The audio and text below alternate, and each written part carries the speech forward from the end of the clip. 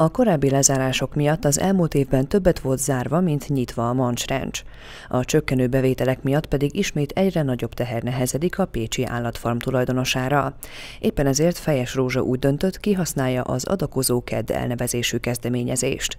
Az Amerikából indult akció célja, hogy az embereket a nagy vásárlások időszakában arra buzdítsák, figyeljenek oda egymásra, az elesettekre, a hátrányos körülmények között élőkre, és adományokkal másoknak is segítsenek. Ehhez csatlakozott 2014-ben ehhez a mozgalomhoz Magyarország is, és a NIOK segítségével idén már 30 civil szervezet gyűjt Magyarországon. Ehhez csatlakoztunk mi is a Állat és Uli Alapítványjal.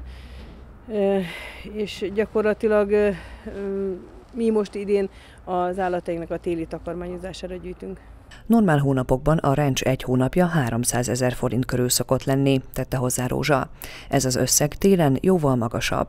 A nemrég megmérgezett kutyus toruk megmentése és kezelése pedig több mint 470 ezer forintba került.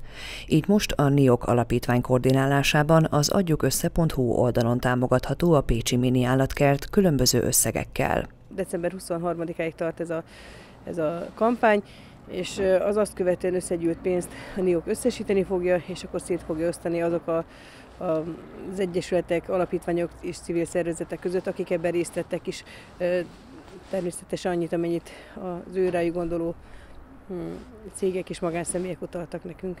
Eddig már 80 bála széna is érkezett az állatfarmra, de különböző tápokra is szükség van, némely állat számára pedig külön fűtést is biztosítani kell. Az adakozó ked keretén belül elindított kampány mellett telefonos egyeztetést követően akár személyesen is fogadja a rends csapata az állatoknak szánt eleségeket.